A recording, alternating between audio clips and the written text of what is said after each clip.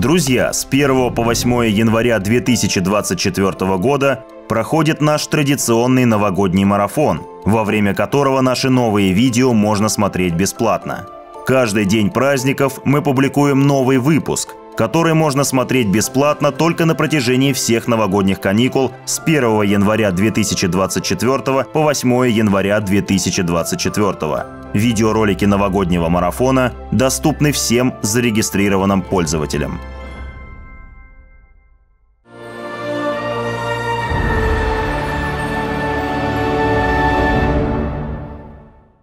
Всем добрый день. Андрей Михайлович Буровский, профессор, археолог, доктор наук. Здравствуйте. И я бы так это назвал. Рождественские байки 2. Я, я, я начну, я начну. Я сейчас расскажу свою рождественскую байку. Собственно, дело было на Алтае, когда мы с моим знакомым поехали осматривать а, окрестности. Угу. Самым забавным, кстати, там была стая орлов, которая питалась с деревенской помойки. Едем, осматриваем окрестности, заезжаем в сельский магазин, и у знакомого а, маши... электроника в машине начинает перемигиваться так, вы знаете, когда в фильмах показывают, после этого НЛО должно появиться там. Mm-hmm. В общем, НЛО не появилось, но был забавный эффект. То есть мы едем дальше, у него резко убывает бензин. Говорит, что-то, говорит, бензин мы не заправились, надо типа назад ехать. На встречу нам проезжают на мопедах рыбаки местные, а, и, в общем, мы там еще какое-то время проезжаем, говорит, ну, дальше рискованно точно, потому что бензин прям вот падает и падает. Едем, на... Едем назад, бензин увеличивается. Едем опять назад, бензин уменьшается, разворачиваемся, бензин увеличивается. То есть, ну, просто это забавная вещь, да, и он как бы это туда-сюда. И когда мы уже, ну, то есть, то есть нельзя же так бесконечно забавляться. То есть, ладно, едем мы назад, я причем э, кручу головой по сторонам, и я что могу подтвердить? Я могу подтвердить, что пол крупа крупного животного, типа лошади или еще кого-то вот такого, исчезает в кустах. А водитель который сидит, он утверждает, что она вообще дорогу не переходила. Она вот так крупом появилась, и половина ее исчезла. И я понимаю, что, ну, как мы не обманываем друг друга, потому что, во-первых, я там боковым зрением не видел никаких. Я вот повернул когда голову, действительно половина зашла. Угу. А он утверждает, что вообще не переходил дорогу, она сразу появилась. Ну и мы едем дальше, как раз нагоняем рыбаков. Он что-то там ради шутки им там говорит, типа, продай Хариуса там, что-то вот пока ему встали, торгуемся, он говорит, а что, говорит, у вас, говорит, за места-то здесь, говорит, такие? Вот, типа, там, пол лошади появилось, там, еще что-то, я сейчас не помню, что он говорит. И ему мужик местный рассказывает, говорит, места, говорит, такие, да. Я, говорит, вот тут иду, типа, не так давно, а там действительно вот речка, она вот так петли такие делает, и около одной петли там есть вот беседки какой-то. Иду, говорит, о, говорит, типа, в беседке поют, ну, типа, он в той Говорит, я так понимаю, что он рассчитывал, что его нальют там, потому что раз они там поют, он говорит, я ружье, говорит, прячу, через кусты раз, там, говорит, нет никого. Говорит, назад поворачиваю, за кусты зашел, снова поют. Я, говорит, как чесанул, говорит, отсюда. Места, говорит, вот такие. Собственно, это и есть тема наших сегодняшних баек – Места, места, такие места. Такие места, странные места, аномальные места. Да. То, что вы описываете, подходит под мою классификацию одного такого места. Места появления странных существ. Причем это не всегда бывают люди или какие-то призрачные создания, что мохнатое такое, человекоподобное. А как говорят, медведь и кабан. То ли огромная обезьяна, которая ходит с непонятного бодуна на четвереньках, то ли правда медведь и кабан одновременно – что-то непонятное. И вот эта ваша лошадь, которая задняя часть, ну, попа из кустов торчит, да, это очень подает под общую картину. Такие вещи временами возникают. Вот есть места, где появляются такие непонятные сущности. Ну, вот, например, появляется огромная щука. Щука появляется, исчезает, и вдруг что большой бежит по земле. Подходит, а следов нет. Вот в Приозерском районе, на Ладожском озере, в бухточках – Такое наблюдали неоднократно. Или наоборот, что-то большое бежит, бесследно исчезло, и вдруг плюх в озере. Ну и на Лужских озерах юга Петербурга. Там то же самое. Там, правда, место одновременно э, не только появления странных существ. Там это место, которое я называю местом страха. Угу. Вот есть места, где почему-то вдруг возникает тревога. Вот без всяких причин. Ничего не происходит. Вот там, где вы были, тревога не возникала? Нет. Во. У меня гораздо раньше другое место, действительно было необоснованное место тревоги, причем у обоих, э, вот мы там, нас два человека было, и была странная вещь, он говорит, надо нам следы, говорит, замести отсюда, когда мы уходили. Вот одна из Откуда безумно... это? Вот. Мы нормальные, ну просто мне тогда было лет, наверное, 25. Откуда у нас эта мысль вообще могла родиться, что нам надо, уходя, замести за собой следы? Вот, и, наверное, самые любопытные, самые странные места из аномальных мест – это места искажения пространства-времени. Ну вот очень упорно говорят о некоторых местах в Псковской губернии. В самом Петербурге вроде таких мест вот не зафиксировано, в самом городе. А в области, опять же, возле острова Коневец говорят, и о шхерах, западных шхерах Ладожского озера в Приозерском районе – но больше всего Псковской губернии. Там даже указывают места возле конкретных вполне деревень, где люди иногда вдруг не понимают, где находятся. Человек идет, вдруг, понимаешь, заблудился. Вот только что он видел тропинку, он понимал, куда идет, и местность искажает за неузнаваемость. Человек бродит по лесу, чаще всего какое-то время выходит, через час, через два, как ему кажется, а оказалось, он пропал на сутки или на двое. Для него субъективно прошло час или два времени, а он реально где-то исчез на очень долгий срок. А бывают случаи, о них рассказывают упорно, даже называют людей конкретных, с которыми это произошло, которые исчезали на пять дней, на неделю. А рассказывают о человеке, приехавшем из города, знавшем места очень хорошо, но так исчезнувшим, который уже так отчаялся выходить к людям, что сказал, а что будет, то будет. Но меня же должны искать, по идее. Я уже там пятый день брожу. Буквально лег на травку, на мох и сказал, будь что будет. Найдут, так найдут. Спустя какое-то время вдруг его окликают. «Эй, ты что сделаешь?» Он вскакивает, видит, вот стоит человек, вдруг узнает местность. Он знает, где находится. Из чертового врага он выходит без малейшей проблемы. Очень он чертов. Ну, а враги овраг. Даже не очень глубокий, метров 12 самый глубоком месте. Вот такие места есть и в Псковской губернии, и на берегах Ладожского озера. Что мне казалось наиболее интересным? То, что вы видите, это всего лишь короткий ознакомительный фрагмент. Полную версию вы можете посмотреть, оформив подписку у нас на сайте. Напоминаем вам, что по-прежнему возможна подписка из-за рубежа. Подписывайтесь и смотрите полные видео без цензуры и рекламы на сайте nday.club.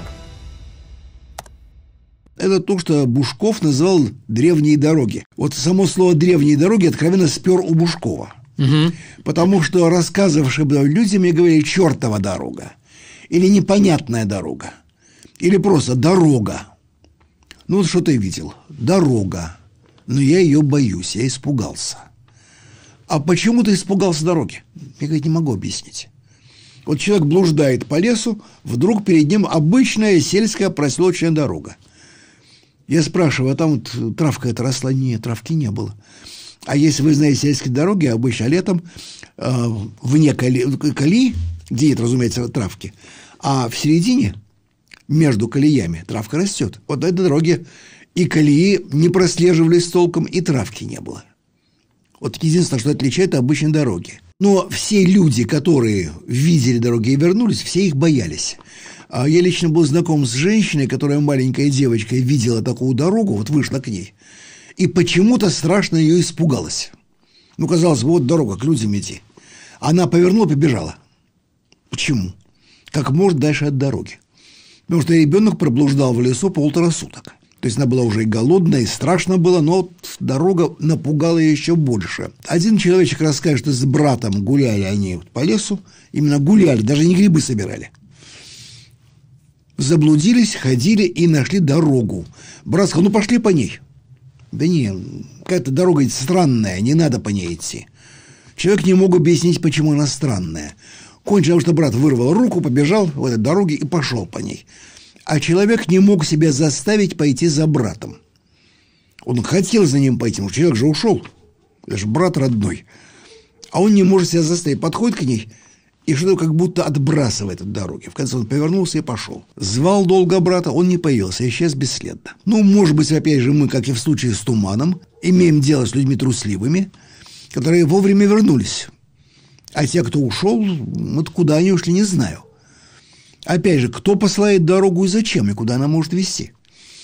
Но опять же, люди, которые знают совершенно точно, как устроен наш мир, говорят, это же порталы – в другое пространство ведет, в другую вселенную ведет дорога. Я сомневаюсь, что существуют люди, которые совершенно точно знают, как устроен наш мир. А вообще история про, про исчезновение людей – это же классическая новелла Вашингтона Ирвинга. Это же, хоть она и легенда, и новелла, но факт, что это, видите, повторяющаяся история. То есть такое mm-hmm. действительно бывает периодически. Ну, раз это вот и тогда было, и сейчас. Угу. Ну, во-первых, подобные истории, которые у Вашингтона Ирвинга в литературное произведение вылез, да, их рассказывают по всей Европе. Фактаж разный, но везде человек вдруг исчезает, потому что ну, для него исчезает пространство, он блуждает в непонятном месте, а само приключение может кончиться буквально спустя часы, он вдруг увидел знакомое место. Или он может пропасть, его нашли, а вот когда его нашли, пропадавшего уже, он узнает место.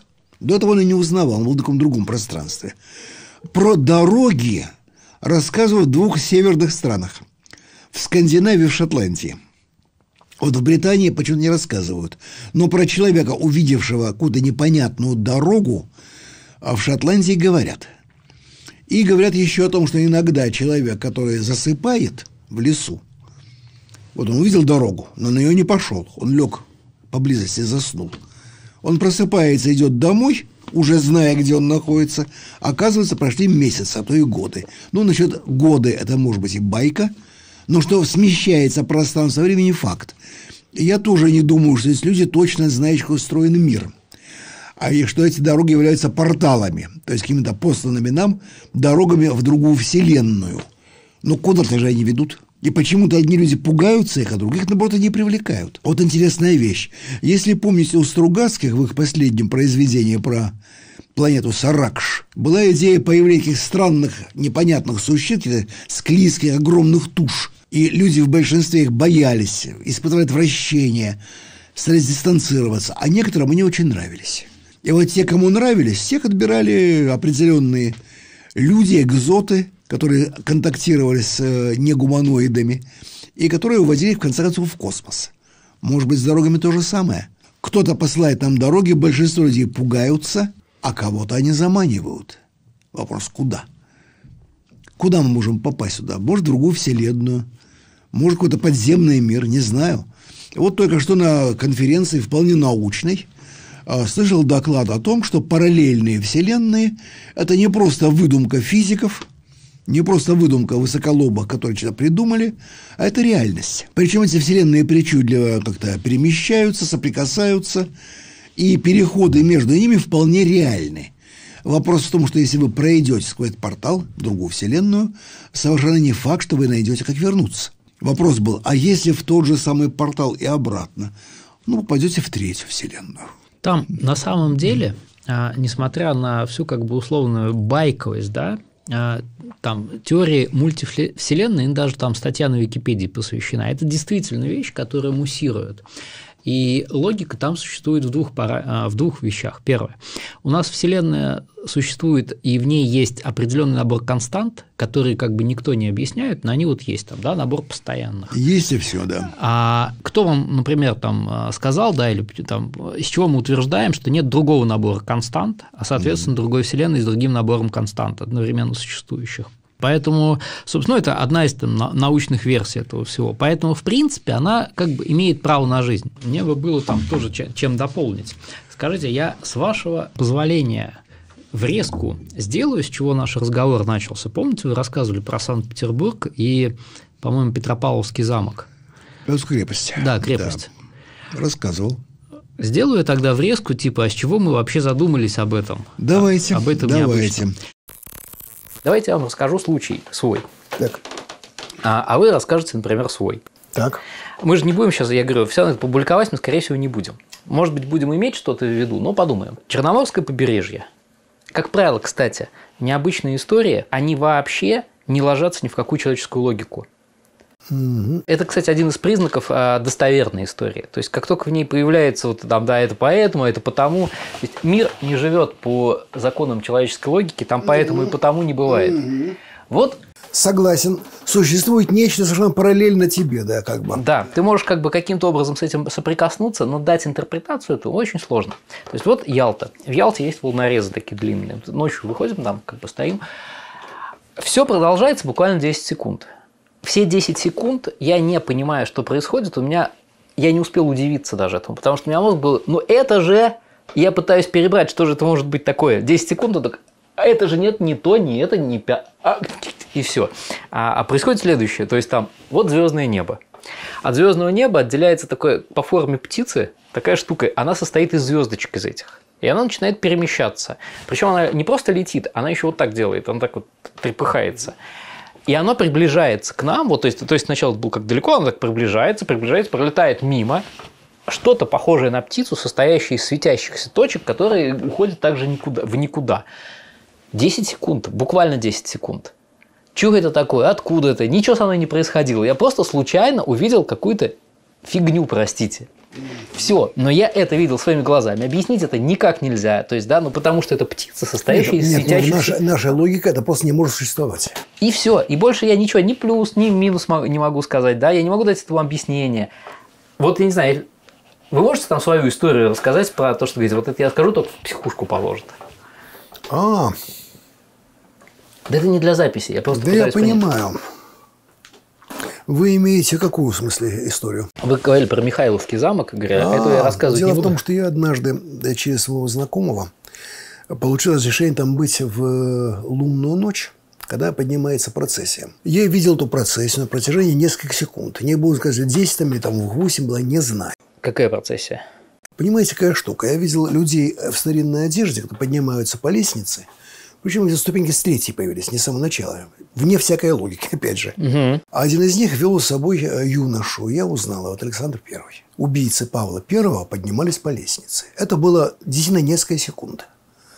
Мне просто сказали так, мы тебя опустим, сказали менты, но ни в коем случае не пиши, как это в день было, чтобы нашу смену не вышли. Что ходят, точно знаем, ходят, ну ты, может, трепись любой другой год. Вот так если другой год назову другую дату, так кого-то подставлю, другого, а их подставляй, нас не надо. Вот это, я еще раз повторяю, когда я мне г- точно знаю, точно знаю, что план Зубов вел за собой, держал за руку Александра Первого. Я просто это видел. Доказать я этого не могу никакими силами. Я не смогу никогда. Но я это видел. Я знаю, что это было. И понимаете, основа подлинности почему? Э, четкого видения не было. Они были прозрачные, они поднимались. Э, ну, на несколько секунд. То есть это впечаталось там в мозги, но я себе даже фотографировал, да, вот не эти вот фотоаппараты были, а пленочные. Э, думаю, что ничего бы не было. Потому что мне известно, что фотографировали их. А другой момент, что вот когда вы рассказывали, я это прошел на истории деревень. А, да, пожалуйста, в Юксеевском районе заброшенная деревня Зыкова.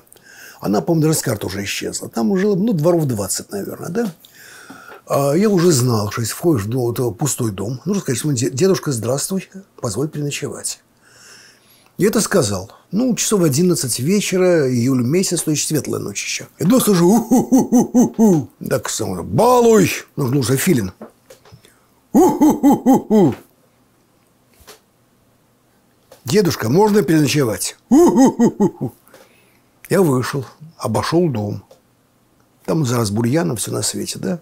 Окна выбиты. Звук был сильный. Больше ничего не было. Я зашел опять в дом, мне стало что-то интересно. А со мной был ну, мой замечательный кружок, который парней постарше, да, старшеклассники.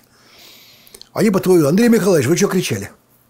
А я не кричал. Что-нибудь случилось? Не, я говорю, ничего не случилось, давайте ночевать. Мы там переночевали.